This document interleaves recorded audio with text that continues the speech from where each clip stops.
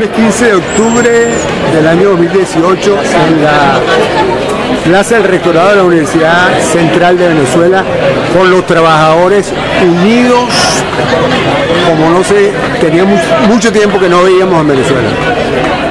Amigos de BP, cuando son las 10.46 minutos, hora de la mañana, Caracas, Venezuela, establecemos un nuevo contacto en vivo desde la Plaza del Rectorado de la Universidad Central de Venezuela a propósito de un encuentro nacional que realizan varios sindicatos y organizaciones de diversos sectores laborales del país. A esta hora va a pronunciarse Eduardo Sánchez, presidente de la Federación de Trabajadores Universitarios, en torno a nuevas eh, movilizaciones que eh, próximas acciones a tomar.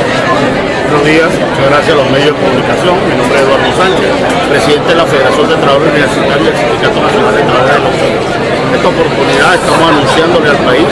la unidad fraterna, solidaria y de lucha de los trabajadores y las trabajadoras venezolanas en el marco de este plan de batalla que estamos diseñando en contra de la arbitrariedad, en contra de la violación a las contrataciones colectivas, en defensa de la Constitución y de la ley del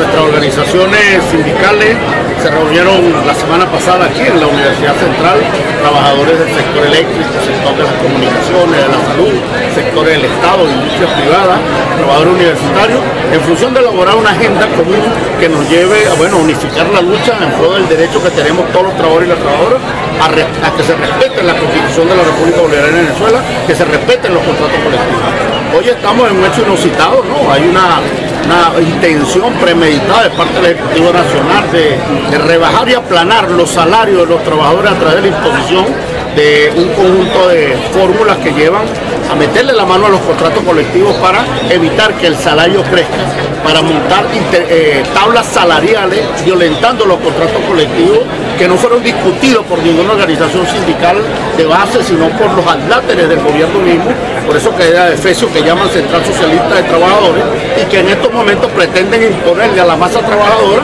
pues, un nuevo esquema, como ellos llaman, un nuevo paradigma que está sustentado en la miserabilización de la suerte del trabajador. Y en ese sentido, nosotros nos hemos organizado en función de, de pelear juntos todos los que están en la pelea y estamos convocando al resto de los trabajadores a unirse a esas luchas, a esas peleas que estamos dando. Mañana estamos convocando una movilización nacional en todo el país de todos los trabajadores, en el caso de los universitarios, los trabajadores médicos, los trabajadores eh, del sector farmacéutico, de los diferentes sectores en las diferentes regiones a coincidir en una jornada de protesta nacional en contra de la imposición de mecanismos alternativos a las contrataciones colectivas. Hoy vienen firmando actas, convenios sin discutirlas con los trabajadores para tratar de poner el traje al tamaño del beneficio del patrón, en este caso el gobierno, que nosotros rechazamos rechazamos entre otras cosas, pues son violatorios de la libertad sindical, no participan los trabajadores. Hoy venimos nosotros diciendo que esta lucha, pues sencillamente la tenemos que mantener en la calle con los trabajadores y con la clase obrera unida. Este es el momento de los trabajadores. Si nosotros no paramos esta ola que viene implementándose en contra de la clase trabajadora, pues lamentablemente van a terminar poniendo cosas, bueno, peores aún. El miércoles estamos convocando nuevamente protesta a los sectores sociales. En la Plaza de la Moneda va a haber una gran concentración también de trabajadores y el viernes, el miércoles en la tarde estamos convocando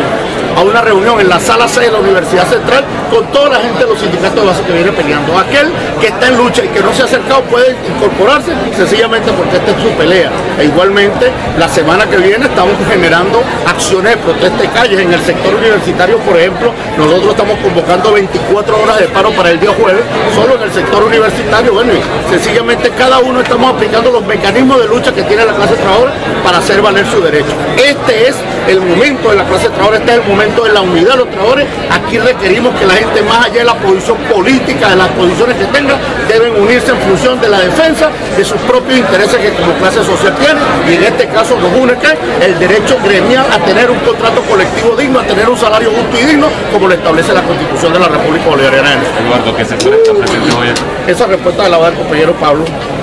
Lo tiene por aquí. Eduardo Sánchez, presidente de universitario. Vamos escuchar también las palabras de Pablo Soprano, secretario ejecutivo de Federación. Bueno, este,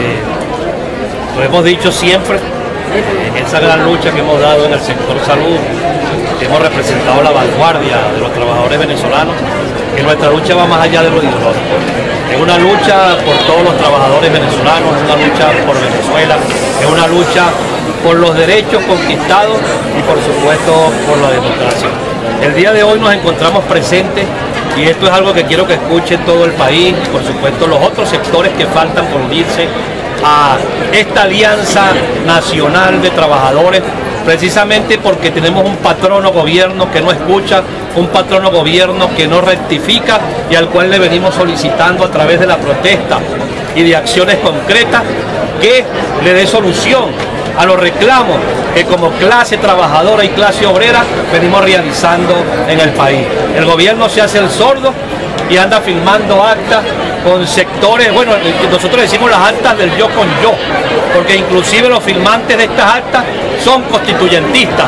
y las bases comiciales de la constituyente prohíben tener una doble función, más sin embargo, como están acostumbrados a la violación del derecho, a la violación de la ley, utilizan esa, e, esa forma para seguir aplastando a la clase trabajadora que hoy en día está unida y que va a dar una batalla por sus derechos y por sus conquistas que tienen ya años establecidas en las contrataciones colectivas. Hoy estamos presentes los trabajadores del metro de Caracas, tanto activos como jubilados, los sindicatos de la Cancillería, el sector obrero de la salud, jubilados del Instituto Venezolano de los Seguros Sociales, trabajadores activos y jubilados de la CANTV, sindicatos del Instituto Nacional de Deporte, los compañeros de Corporé Eléctrico, la organización Secura, la organización Ruptura, eh, sindicatos de la Alcaldía Libertador y Alcaldía Metropolitana, Imparque, FADE, MOSBASE, FAPUC, que es de los profesores universitarios, FETRAESUR, presidida por eh, Eduardo Sánchez, trabajadores del IPASME, Colegio Nacional, Federación Nacional de Bionalistas, Federación de Trabajadores Ocupacionales eh, y otros más. Inclusive tenemos que decir con mucha responsabilidad que la gente que en este momento está protestando en Guayana de los distintos sectores está a tono con esta unidad que estamos fraguando el día de hoy, los trabajadores, en este caso de las distintas organizaciones ya nombradas. La agenda que tenemos específicamente, bueno, la de hoy, la rueda de prensa, donde le mostramos al país que estamos aliados, que estamos unidos y que la unidad de los trabajadores es una realidad el día martes hay una protesta nacional de los distintos sectores a partir de las 10 de la mañana. Eh, todos los sectores nombrados el día de mañana van a protestar en, en el país y por supuesto en la ciudad de Caracas.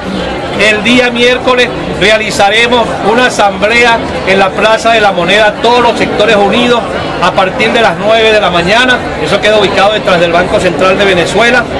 Igualmente en la tarde realizaremos una reunión conjunta intersectorial de todos los sectores porque vamos hacia un encuentro nacional de trabajadores porque ahí vamos a establecer la hoja de ruta para dar la batalla. Eso es pronto y después del día de mañana anunciaremos la fecha de este gran encuentro nacional de trabajadores. Y el jueves estaremos presentes todos a la una de la tarde en los tribunales eh, penales por el caso del compañero Ronnie Álvarez, trabajador de Ferrominera, quien tiene siete años preso y no ha cometido ningún delito. Con Ronnie Álvarez, ese trabajador que está sufriendo inclusive eh, hasta el abandono por el hecho de que tiene siete años pasando trabajo en una cárcel venezolana sin haber cometido un delito, nosotros estamos en este momento también unidos en la lucha para que se le dé su libertad. Es un preso político, Rodney Álvarez, porque todo el mundo sabe ahí este, varios testigos, muchos testigos de que no disparó el, el arma para asesinar a otro trabajador, en este caso de las empresas de Guayana. El día de hoy estamos unidos, estamos juntos y por supuesto esto le dice mucho a Venezuela, esto le dice mucho al país, la unificación de los trabajadores venezolanos. Ojalá otros sigan este ejemplo, porque el ejemplo de la unidad es el único que puede salvar a este país de los abusos constantes, de esa institución en que se ha convertido el abuso de poder por parte del patrono gobierno y por eso todos estos sectores el día de hoy estamos unidos para dar una gran lucha y para restablecer los derechos que hemos conquistado a través de nuestras luchas. Parte de esa lucha por la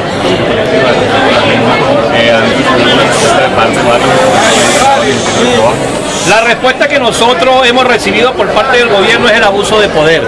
es haberse reunido con sectores que no representan ya a nadie, que simplemente son representantes del gobierno. Es lamentable decir, porque uno conoce a muchos de estos dirigentes que se arrodillaron, que se entregaron al gobierno y el patrono gobierno es el que decide, simplemente le presenta, esto es lo que es y ellos lo firman. Por supuesto no quieren reunirse con esta dirigencia sindical porque nosotros no lo vamos a complacer en, nuestros pedidos, nosotros no le vamos a entregar nunca lo que han conquistado los trabajadores porque nuestra lucha es en pro de la mejora de los trabajadores y quienes nos dan órdenes a los dirigentes que nos encontramos aquí son los trabajadores, no, ningún patrono, ni el patrono público ni el patrono privado. Esta es la unidad de la clase obrera, esta es la unidad de la clase trabajadora. Vamos a defender el salario, vamos a defender el derecho a la protesta y vamos a defender a la democracia venezolana.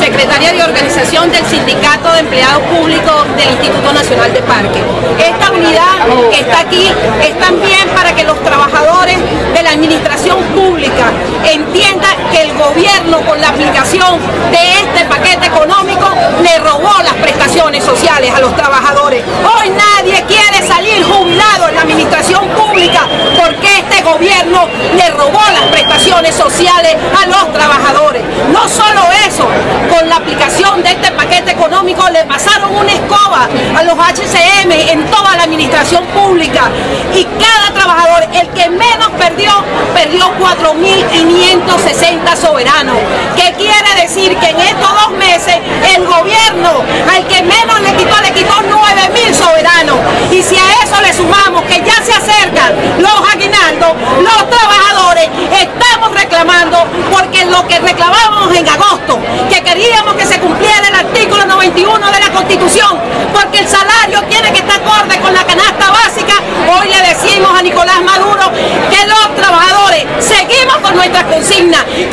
Salario digno, acorde con la canasta básica. No nos arrodillamos, somos sindicatos autónomos y le decimos a la clase trabajadora que este es el momento de salir con nuestras banderas, que aquí no se trata de tumbar a un gobierno, aquí lo que se trata es de decirle al gobierno que se dice obrerita, le ha dado un zarpazo a todas las conquistas sociales que hemos logrado los trabajadores a través de los años. Y es por eso que esta unidad que se está dando aquí hoy en Caracas, en la casa que vence en la sombra, que se ha dado en, todo el país a nivel nacional, es la mayor muestra que aquí hay un pueblo consciente, un pueblo que necesita y que un pueblo que no se va a arrodillar.